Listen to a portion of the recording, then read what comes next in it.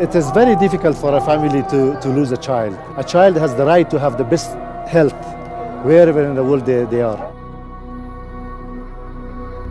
And we know that pneumonia is the number one cause of death in children. It represents around between 20% to 23% of infant mortality in Yemen. They have short shadow breaths, sometimes painful. They can die from it. In Yemen, more than 42% of the people, they are under the poverty line. And when the people, they get sick, the out-of-pocket expenditure is almost 67% of the total health expenditures on health. Then the, the families spend a lot of uh, money and it will contribute to the po poverty of the families. بينها حمى وينها كاحس ها كان يسأل له ما يسود التهابات الرئوية هذا الدكتور عندك العروسي أو غباء أو زكمة وطلعت هكذا والفعفع هذا ما يسود ورجع يبكي دولة وحمى الليل تطرح بزيادة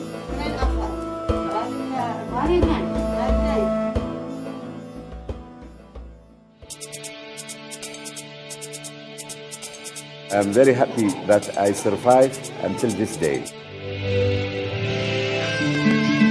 To see that Yemen introduced pneumococcal vaccine to their children.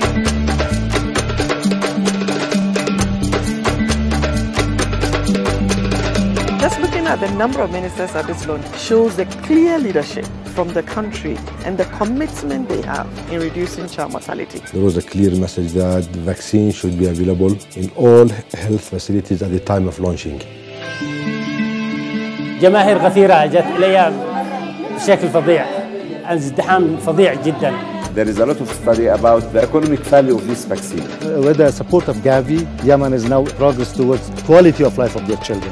If you pay only one dollar for vaccine, you can save twenty dollars. Gavi helped us with around twenty-five million dollars. We can save more than four hundred million dollars for the economy of Yemen for the safety of the children.